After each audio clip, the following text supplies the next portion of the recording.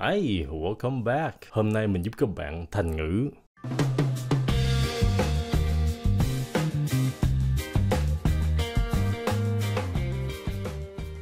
Thành ngữ tiếng Anh là idiom.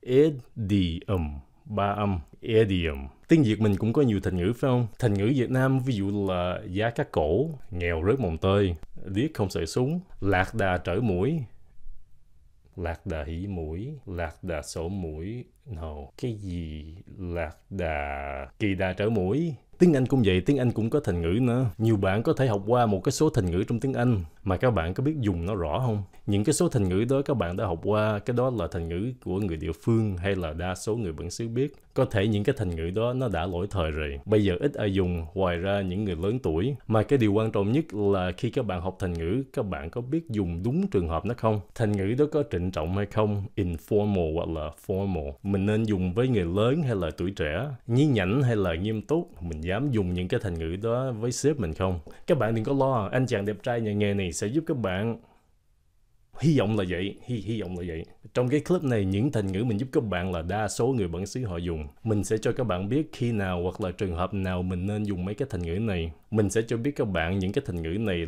là trịnh trọng hay là không trịnh trọng. Ok let's begin. Thành ngữ đầu tiên là piece of cake. Phát âm nha piece nhớ xì nó p cái xong nói âm. Piece of cake piece of cake nghĩa là rất dễ hoặc là dễ ợt. Piece là một miếng, một cục. A piece of candy là một cục kẹo. A piece of bread là một miếng hoặc là một cục bánh mì.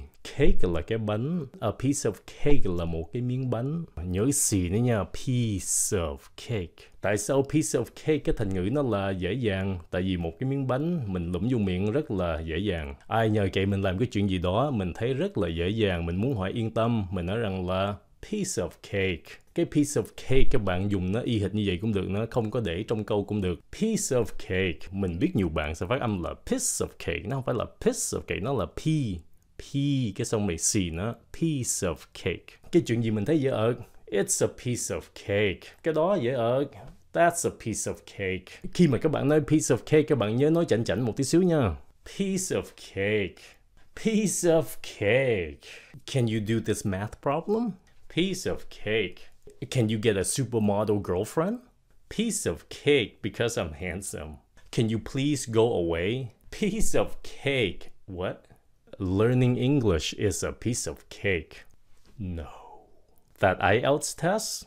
That was a piece of cake. Cái idiom này trường hợp nào dùng cũng được, nhất là trong không khí vui vẻ. Nếu mình dùng nhiều quá trong cái không khí nghiêm túc thì người ta có thể nói mình là chảnh nha, cẩn thận. Kế tiếp nữa là to see eye to eye. Eye to eye là mắt đến mắt. Con mắt này nè.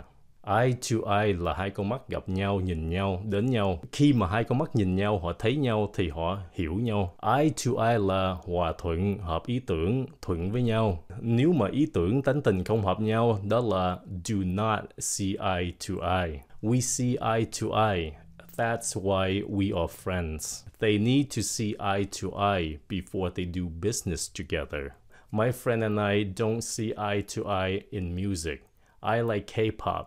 He likes rap. I quit my job because I don't see eye to eye with my boss. Okay, I got fired.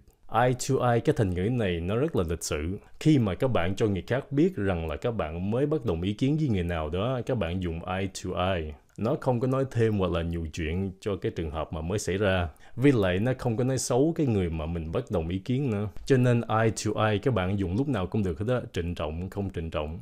Kế tiếp là break a leg. Nhớ nói âm break a, break a leg. Break là gãy, leg là cái chân. Break a leg là mình khuyên người ta gãy chân đi.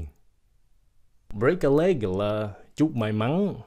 Yeah, nó nghĩa là chúc may mắn mà nó có một cái đặc biệt khi các bạn dùng break a leg từ chúc may mắn nha. Cái chúc may mắn này là mình chúc cho một người nào đó hoặc là cái nhóm người nào đó bước lên sân khấu biểu diễn hoặc là một cái người nào đó trình bày trước đám đông hoặc là đối diện người khác. Nó có một cái sự biểu diễn trong này. Ví dụ mình đang thi chương trình Vietnam Idol trước khi mình bước lên sân khấu, cái người thân của mình nói rằng là break a leg, break a leg. Chúc may mắn nha. Trước khi mình đứng lên lớp để trả bài thì cái người khác chúc mình là break a leg. Trước khi mình đi phỏng vấn break a leg.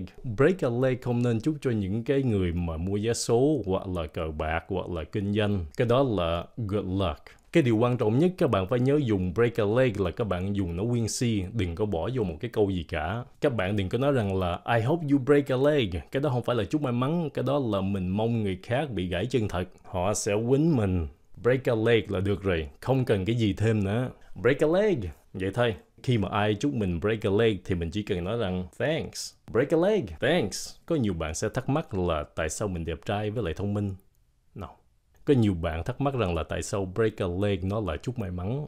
Nghe sâu ghê gớm kỳ cục quá thật ra cái thành ngữ này nó có cả ngàn năm rồi nó là của một cái dân tộc hồi xưa của nước Anh. Họ thích cái cách khơi hài mà họ rủa người ta hoặc là trù ẻo để cho vui vậy đó. Nhớ gãy chân nha, cho chúng tôi cười chơi. Tuy rằng break a leg nghe nó kỳ cục ghê gớm mà thật sự mình dùng trong trường hợp nào cũng được hết á. Trịnh trọng hay là không trịnh trọng, người lớn hoặc là tuổi nhỏ. Ví dụ ông sếp của mình chuẩn bị đứng lên nói trước đám đông thì mình chúc ông là break a leg sir, break a leg mom, Break a leg, dad. Yes, break a leg dùng cho người lớn được. Kế tiếp là hit the books. Hit là đụng, đập, books là cuốn sách, đụng cuốn sách, đập cuốn sách, nghĩa rằng là chăm chú học bài hoặc là chăm chú ôn bài. Quá khứ của hit là hit luôn, hiện tại là heading. I have to hit the books tonight. You need to hit the books for the IELTS. She has to hit the books really hard for the exam. Hey, what are you doing? I'm hitting the books. Turn off the TV and hit the books. Đa số trường hợp nào mình dùng hit the books cũng được hết. Mà tốt nhất mình đừng có dùng với người lớn tại vì nó nghe giống ngang hàng với họ lắm. Cho nên tốt nhất các bạn dùng hit the books cho người thân, quen với lại bạn bè. Kế tiếp, idiom này thật sự ít dùng mà khi mình dùng nó đúng thì nghe nó rất là hay. Look like a million dollars. Trước hết cái chữ này là million. Nói chậm là million. Nói nhanh million nhìn như thế, million. Look like a million dollars là nhìn giống một triệu đô. Một triệu đô la nhìn nó rất là hấp dẫn, rất đẹp. Cho nên ai đó hoặc là cái gì đó, họ look like a million dollars là họ nhìn rất là đẹp. Họ nhìn sang trọng, xinh đẹp, bán cạnh, hot sảy. Cái người nào đó nhìn sang, đẹp thì mình nói rằng là Wow, you look like a million dollars. Hoặc là he looks like a million dollars. Wow, she looks like a million dollars. That car looks like a million dollars. That dress looks like a million dollars. Look like a million dollars các bạn dùng khi nào cũng được hết. Cái câu đó nghe lịch sự cho nên không có sao gì cả. Trịnh trọng hoặc là không trịnh trọng. Các bạn phải nhớ cái điều này nha, một triệu đô la nó rất là quý cho nên cái câu này các bạn cũng phải coi nó là quý luôn nữa. Mình phải chờ đúng lúc mình dùng nó. Ok, bây giờ ôm lại nha. Piece of cake là dễ dàng, dễ ợt. To see eye to eye nghĩa là hợp tánh tình, hợp ý tưởng, thuận nhau. Break a leg là chúc may mắn, nhất là cho những người biểu diễn. Hit the books là chăm chú ôn bài, học bài. Look like a million dollars là nhìn sang, đẹp. Okay, that's it. I'll see you next time. They need, okay, okay. A piece of bread là một miếng mà khi mà đụng cuốn sách, đập cuốn sách, cái đó là look look like à, rất đẹp thì mình nói rằng là